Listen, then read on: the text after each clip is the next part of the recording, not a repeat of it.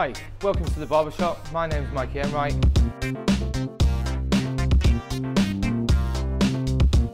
Today I'm going to make a cocktail called the Singapore Smoke Sling. The inspiration for my cocktail is basically from a, a catch-up that I had with Jared Brown, who is the master distiller for Sipsmith.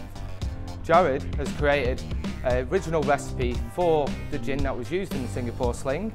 It's called the 1915 Raffles Edition.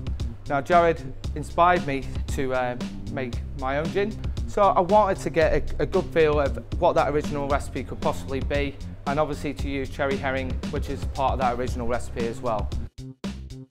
First of all, I'm going to put 40 mils of apple cider smoked barber's cut gin.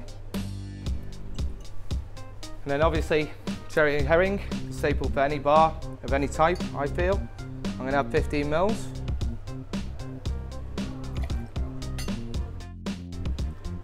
The old Don Benedictine, literally. 15 mils.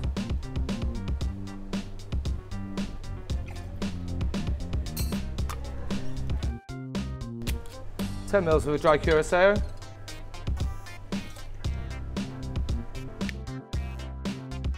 Fifty mils of freshly pressed pineapple juice, freshly pressed lime juice, a couple of dashes of the ever faithful Angostura bitters, give it a bit of colour, a little dry shake, just going to use a, a spring in there so I get a really nice head on it.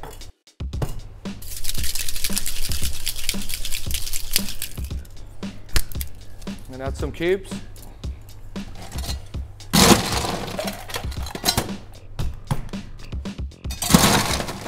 A highball.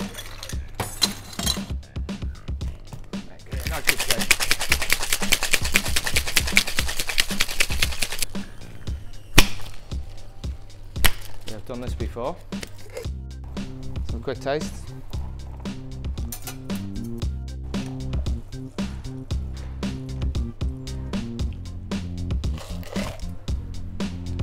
Dash of soda.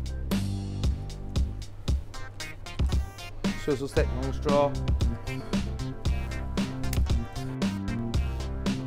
Some mint sprig. Some cherries. And then finish off with some dehydrated pineapple. And there we have it. The Singapore smoked sling.